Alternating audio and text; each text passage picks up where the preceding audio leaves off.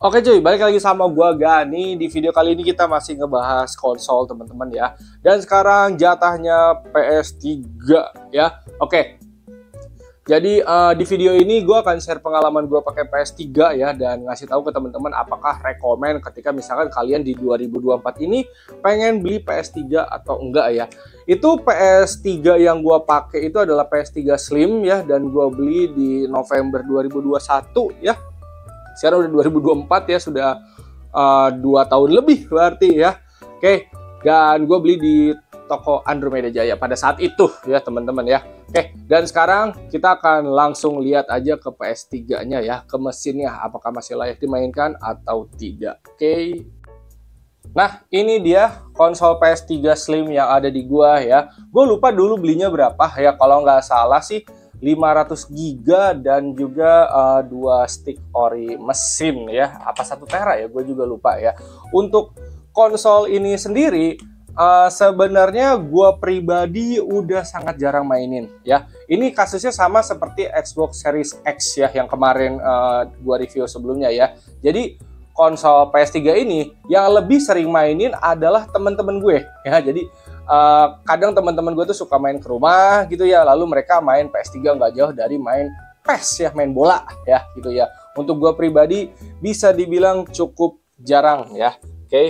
nah ini kita akan nyalain PS-nya ya oke okay. nah, nah oke okay. sambil kita tunggu masuk ke layar nih ya ini tadinya PS3 nya tuh gua taruh di ruang tamu depan teman-teman ya. Cuman uh, sekarang gue pindahin ke kamar ya karena jadi biar di luar itu buat Xbox dan Nintendo, kalau di kamar PS ya ini gue terus sebelahan sama PS2 juga nanti yang PS2 kita akan bahas ya. Oke, untuk PS3 sendiri sebenarnya uh, sudah ada emulatornya teman-teman ya ya. Namanya RPCS 3 kalau nggak salah ya. Kalau misalkan kalian uh, tidak mau beli PS3 ya, misalkan kalian udah punya komputer atau punya laptop mau main di emulator juga menurut gue kagak masalah teman-teman ya. Tapi kalau misalkan kalian kayak gue nih gue pribadi pada saat itu kenapa beli PS3 karena gue cukup penasaran teman-teman ya.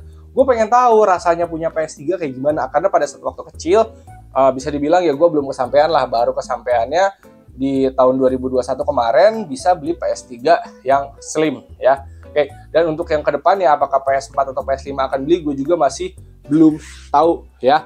Dan ini untuk PS3-nya sendiri gue beli yang versi CFW teman-teman ya, yang udah ada gamenya ya. Jadi gue pada saat waktu itu gak, mau ribet ya, ada cukup banyak gamenya di sini ya. Oke, nah bisa teman-teman lihat lah ya. Dan ini gak semuanya gue mainin sih, masih ada yang gue belum mainin dari 2021 juga cuman ini yang terakhir dimainin dia sama teman-teman gue tuh kayak nggak jauh dari Brothers terus juga Basara e-football WWE ya FIFA Street ya. Jadi yang main benar-benar teman-teman gue gitu ya oke? Nah secara um, mesin konsolnya sendiri uh, eh, gue akhirnya memutuskan untuk beli stand teman-teman ya. Jadi PS3 nya gue bikin berdiri kayak gini karena menurut gue lebih keren aja gue taruh berdiri kayak gini ya. Kalau dibikin tiduran ya sebenarnya nggak masalah juga sih. Cuman lebih enak berdiri menurut gue itu mah preferensi masing-masing lah ya. Dan kalau misalkan kalian nggak masalah atau kayak ah gue nggak mau beli PS3 ah gue udah punya laptop udah punya PC mau main di emulator ya ya itu pun kagak apa-apa temen-temen ya. Cuman buat gue uh, kalau kalian mau beli konsol yang kayak gue nih ya secara fisik ya itu juga boleh oke nah sekarang kita jajal main gamenya ya Oke, sekarang kita masuk di gameplaynya ya, teman-teman ya. Di sini sebenarnya kalau game PS3 sendiri eh, nggak uh, terlalu banyak game yang gue mainin ya. Paling nggak jauh dari GTA 5, terus juga uh, ada Saint Seiya, sama ada Dynasty Warrior 8 ya itu doang yang gue mainin. Sisanya itu rata-rata teman-teman gue yang mainin ya. Oke nah untuk uh, gameplaynya sendiri sebenarnya gue nggak ngerasa ada masalah sih dari awal pertama punya PS3 ini ya. Dia kagak ada ngelek kagak ada apa pun gitu ya. Cuman memang kalau masalah grafik ya karena mungkin gue udah ada komputer di rumah ya. Terus juga gue ada Xbox Series S, Series X ya yang di mana kayak game GTA 5 juga gue mainin di situ juga ya. Jadi gue sedikit ngerasa kayak si PS3 ini lebih burik aja gitu. Tapi masih nyaman untuk gua nikmatin. Jadi gua tahu gitu loh, oh ini rasanya main GTA 5 di PS3 kayak gini. Rasanya di konsol Xbox seperti ini, di PC seperti ini ya. Dan uh, game-game yang ada di PS3 sebenarnya juga beberapa udah ada di komputer gitu ya kayak di Steam atau di Epic Game gitu ya. Itu udah kita bisa mainin gitu guys ya. Jadi uh, sebenarnya masalah kalian atau kalau ditanya tentang apakah 2024 ini layak beli PS3 atau enggak kalau ngomongin gamenya atau ngomongin resolusinya mungkin menurut gue kayak 70-30 lah kayak Eh, uh, 30% lu boleh beli PS3 yang 70%-nya kayaknya lu nggak usah deh. Ini kan udah ada di PC juga gitu loh atau di laptop gitu ataupun uh, lu bisa beli konsol lain kayak PS4 ya yang harganya bisa dibilang juga nggak jauh beda dan bisa dapat grafik yang lebih mantep gitu loh ya. Tapi kalau misalkan lu ngincar konsolnya kayak gue, ya nggak masalah gitu loh. Ini gue pada saat itu balik lagi ya beli PS3 karena karena emang pengen punya aja gitu guys ya. Terus untuk uh, persoalan install game ya. Kalau install game, uh, eh, gue udah beberapa nambahin game di sini ya. Gue juga lupa deh nambahin install game apa aja gitu ya. Pokoknya ada beberapa yang gue tambahin dan uh, alhamdulillah gue tidak mendapatkan kesulitan ya. Gue juga udah pernah bikin tutorialnya kok. Jadi kayak gue tinggal download ya. Ada ada channel yang memang menyediakan kayak oh ini kalau game ini link downloadnya di sini ada kok. Ya gue lupa nama channelnya apa. Jadi gue tinggal masukin uh, gamenya ke flash disk ya. Lalu gue colokin flash disk ya ke si PS3 ya. Dan abis itu ya udah gue tinggal tungguin sampai installnya kelar dan tinggal mainin gitu. Jadi untuk proses install uh, aman-aman uh, aja. Terus juga uh, pada saat awal ketika gue mau beli PS3 ketakutan gue adalah uh, sering dapat info soal PS3 yang yellow ya yellow light of death ya. Jadi katanya PS3 tuh gampang yellow gitu ya gampang rusak atau gimana. Tapi ini kebetulan guys alhamdulillah yang punya gue gue tidak pernah mengalami hal tersebut ya. Jadi PS3 gue tuh selalu aman-aman aja gitu loh. Gue mainin tanpa ada aneh-aneh dah. Nggak ada keluhan apa pun. Jadi dari awal beli sampai sekarang ya udah gitu. Dia seperti ini ini aja gitu. Kagak ada aneh-anehnya ya. Oke. Nih untuk GTA 5 udah nggak ada masalah ya. Kita coba game yang lain ya oke kita balik lagi ke menunya ya. Tadi kan gue nyebutin kayak gue beberapa install game ya dan itu cukup banyak ya. Dan install gamenya sendiri itu sebenarnya requestan teman-teman gue juga kayak uh, Gan installin Tomb Raider dong gue pengen mainin. Terus juga Thief terus Spider-Man tuh ya God of War sampai Lego Harry Potter Call of Duty sampai Legend of Korra tuh ya. Ini memang gue tambahin sendiri teman-teman ya. Oke? Okay? nah sampai Kamen Rider. Kalau Saint Seiya Saint Seiya kalau nggak salah udah dari sananya ya Jojo juga Jojo apa gue install sendiri gitu ya gue lupa juga teman-teman ya. Kalau nggak salah ini sampai sini nih sampai Jojo nih. Ke atas itu game-game yang gue uh, tambahin sendiri. Sisanya yang ke bawah ini dari Ninja Gaiden, Elanoir ke bawah-bawah itu memang game bawaan dari sananya ya. Dan ini masih ada juga game-game yang uh, ditaruh di apa sih yang warnanya? Warna bulat itu loh. Yang dia tuh untuk naro game uh, eh, CV-nya ya Nah ini nih si Multiman ya, coba kita akan buka ya. Jadi ada beberapa game juga, selain di luar itu, ada di dalamnya juga. Dan ini cukup banyak ya, kalau saya ingat gue tuh itu 500 giga deh. Nah kayak Dynasty Warrior nih, gue maininnya di sini semua teman-teman. Dan gue minta set semua tuh kayak 6, 7, 8 ya. GT4, G-Star, sama Naruto, sama Sensei lagi, sama Warrior Orochi ya. Ini game yang bisa dibilang gua request ya. Jadi pada saat itu gamenya udah cukup banyak ya. Dan uh, ya gue tinggal mainin aja gitu game-game yang gue pengen mainin ya. Oke. Okay. Oke, okay, sekarang kita masuk ke game uh, Sensei ya. Soldier Soul ya. Dan di sini karena memang apa namanya?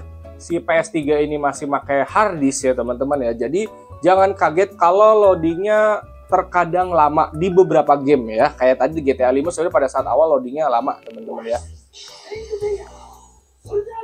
Nah, kita coba sini. Ini gue kecilin dulu volumenya kegedean nih. Oke. Dan di sini juga uh, eh, gue udah masukin uh, beberapa save data teman-teman ya. Jadi cara masukin save datanya juga tinggal kalian download, terus juga tinggal masukin flash disk, tinggal dimasukin ke PS3-nya ya. Sesimpel itu untuk masukin save data ya. Jadi beberapa kayak game ini gue malas untuk namatin semuanya lagi gitu loh karena gue udah pernah namatin di komputer. Balik lagi ya. Game ini sebelumnya gue mainin di komputer dan udah tamat. Jadi uh, pada saat di PS3 ada gue mencoba untuk ya ada gamenya lagi gitu. Dan gue nggak mau namatin dari awal jadi gue download save data ya. Dan gue perasa nggak kesulitan karena semua tutorialnya di YouTube juga udah ada teman-teman ya. Tapi mungkin buat orang-orang yang awal baru punya PS3 gitu ya, akan rada repot kalau kalian mau belajar untuk install game atau masukin save datanya ya. Itu bisa dibilang cukup mager karena kalian butuh ya butuh handphone juga bisa sih sebenarnya pakai OTG gitu ya di copy paste gitu data-datanya ya. Nah ini gue juga udah cukup lupa tuh Oke. Nah, sekarang kita ke controller, teman-teman ya. Untuk controllernya sendiri uh, ini masih bawaan dari sananya dua-duanya, teman-teman ya. Tapi kalau kalian nanya apakah uh, sudah pernah ada trouble? Jawabannya sudah pernah, teman-teman ya. Jadi, gua tuh pernah ada kondisi di mana si controller ini tuh dia tiba-tiba mencet sendiri kayak R2-nya mencet sendiri gitu ya. Terus kayak kotak bulat segitiganya dia mencet-mencet sendiri gitu, guys. Gue pernah ada di posisi itu. Tapi uh, balik lagi, gue pada saat itu nggak langsung uh, memutuskan untuk beli apa namanya, beli controller lagi. Jadi gue nyari dulu caranya ada nggak sih solusinya gitu di YouTube gitu. Ternyata ya ada teman-teman. Solusinya ada di YouTube. Jadi kita harus bongkar ini sticknya ya. Dan di dalam si controller ini tuh kayak ada semacam flex gitu ya. Flex itu kayak lapisan uh, koneksi uh, lapisan koneksi atau gue nyebutnya gimana atau kayak gini dah nih yang gambarnya seperti ini ya yang di mana kita tuh harus mutus jalurnya pakai cutter jadi harus ngecutter semua jalur-jalurnya biar si sticknya normal lagi dan setelah gue lakuin itu ya udah si sticknya ya dia normal normal lagi teman-teman ya. Jadi uh, kalau kalian misalkan beli PS3 ya lalu cukup mager uh, sebenarnya bisa aja kayak uh, lu bisa beli controller lagi. Atau misalkan kayak lu ngisi game sama save datanya lu mager, lu tinggal bawa ke toko PS aja gitu loh. Nanti bisa langsung ke mereka, lu ngasih uang aja bayar berapa gitu isi game. Kan pasti mereka juga ngerti lah tukang-tukang PS-nya kayak bang isi game. Gamenya apa aja? Nanti biayanya segini. Itu juga pasti mereka sudah menyediakan ya untuk kalian yang mager buat download atau masukin gamenya secara pribadi atau masing-masing gitu. Oke teman-teman, kurang lebih uh, segitu aja review singkat dari gua. Intinya kalau kalian di 2024 ini mau beli PS3 ya, kalau lu alasannya itu kayak gua pengen ngerasain punya konsolnya, itu worth it teman-teman ya. Tapi kalau lu kayak ah gua uh, pengen main game aja sebatas main game, ya lu bisa nikmatin game-game yang di PS3 ini di PC teman-teman ya di komputer ya kalau misalkan lu punya komputer tapi kalau misalkan lu uh, bener-bener gak punya komputer lalu lu pengen beli PS3 ya ini masih worth it worth it aja tapi uh, saran gua coba kalian lirik sedikit uh, harga PS3 dan PS4 di 2024 ini setahu gue harga PS3 dan PS4 itu sudah mirip-mirip ya. Jadi kalau kalian bisa sedikit nabung kayaknya akan lebih worth it beli PS4 gitu ya teman-teman ya. Oke, dan di sini uh, buat gue pribadi PS3 ya worth it teman-teman. Karena pada saat kecil gue nggak kesampaian punya ini ya. Jadi gue inget banget pada saat gue SMP kelas 1 apa kelas 2 tuh ya PS3 tuh baru rilis uh, gue PS2 aja belum kesampaian pada saat itu. Dan PS3 pun itu gue kesampaiannya lewat temen gue jadi gue punya temen tuh. Orang tajir banget tuh. Jadi pada saat PS3 rilis dia udah punya. Nah gue ngerasainnya di situ.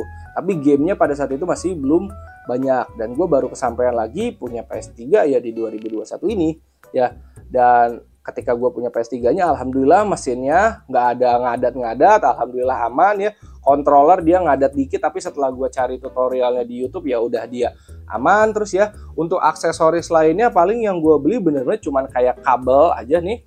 Kabel untuk ngecas ini karena ini dulu ada tapi kalau nggak salah ini rusak atau enggak ya gue lupa ya. Jadi gue beli lagi dan sama beli stand PS3 udah. Sisanya masih sama seperti semula ya. Dan ini gue nyolokin ke TV udah masih aman banget ini gue main di TV 43 inci hasil gambarnya masih cakep-cakep aja di beberapa game ya oke jadi masih worth it. Oke, segitu aja paling ya. Kalau teman-teman minat, nanti linknya akan gua taruh di deskripsi ya. Jadi buat teman-teman nih, jangan tiap hari nanyain mulu nih PS3-nya gimana kabarnya, PS3 gimana kabarnya. Alhamdulillah dari awal PS3-nya sehat teman-teman ya. Oke, segitu aja. Atau terima kasih dan thank you. Semoga bermanfaat ya.